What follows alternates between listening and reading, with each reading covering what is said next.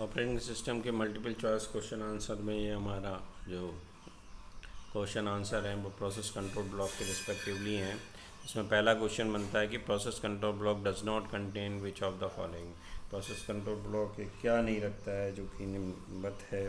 पहला है कोड दूसरा स्टैक तीसरा बूट स्टैप प्रोग्राम और डी डेटा तो पीसीबी जो है कोड भी रखता है, डेटा भी रखता है स्टैक भी रखता है बूट स्टेप प्रोग्राम को वो नहीं रखता है इसलिए यहाँ ऑप्शन नंबर जो सी है वो बिल्कुल ठीक है। तो बूट स्टेप प्रोग्राम यहाँ आंसर होगा।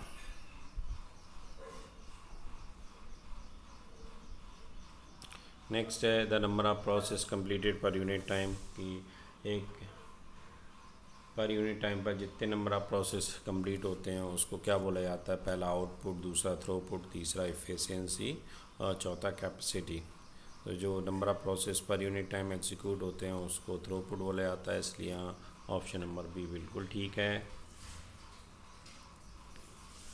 The state of process is defined by कि प्रोसेस की स्टेट किसके द्वारा डिफाइन होती है? पहला final activity of the process दूसरा activity just executed by the process तीसरा है activity to next be executed by process और चौथा है current activity of the process तो स्टेट जो है प्रोसेस की वो डिफ़ाइन होती है, जो भी करंट एक्टिविटी रन कर रही है, उसके रिस्पेक्टिवली तो इसलिए यहाँ ऑप्शन नंबर डी बिल्कुल ठीक है हमारा। Which of the following is not the state of process कौन सा फॉलोइंग जो है स्टेट ऑफ़ प्रोसेस नहीं है? पहला न्यू दूसरा ओल्ड तीसरा बेटिंग चौथा जो है रनिंग तो स्टेट ऑफ़ प्रोसेस ओल्ड नहीं है, इसलिए बी ऑप्शन यहाँ बिल्कुल ठीक है. What is the process control block process control block क्या होता है? पहला है प्रोसेस टाइप वेरिएबल्स हैं. दूसरा है डेटा टाइप डेटा स्ट्रक्चर है. तीसरा सेकेंडरी स्टोरेज सेक्शन है. और D A block in memory है। तो प्रोसेस कंट्रोल ब्लॉक जो होता है, वो एक टाइप का डेटा स्ट्रक्चर ही होता है। इसलिए यहाँ पे ऑप्शन नंबर बी बिल्कुल ठीक है। Next the entry of the PCB of the current process is in कि जो भी पीसीबी की एंट्री होती है करंट प्रोसेस की, वो किसमें की जाती है? प्रोसेस रजिस्टर में की जाती है, दूसरा प्रोग्राम काउंटर में की जाती है, तीसरा प्रोसेस टेबल में या डी प्रोसेस यूनिट में। तो जो भी पीसीबी की एंट्रीज़ होती हैं, वो प्रोसेस टेबल में की जाती हैं, इसलिए यहाँ पर ऑप्शन नंबर सी बिल्कुल ठीक है।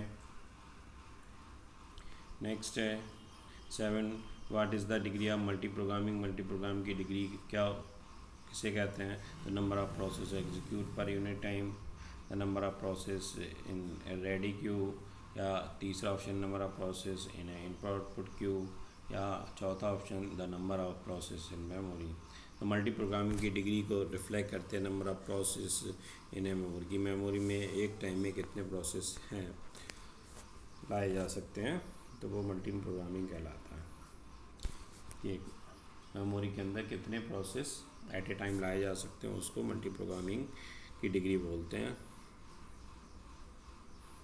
नेक्स्ट है ये single thread of control allow the process to perform कि single thread of control process allow करता है प्रोसेस को कि वो परफॉर्म कर सकता है। पहला ऑप्शन केवल एक ही टास्क है एट ए टाइम दूसरा option multiple task at a time तीसरा ऑप्शन है ओनली टू टास्क दो टास्क एक टाइम पर।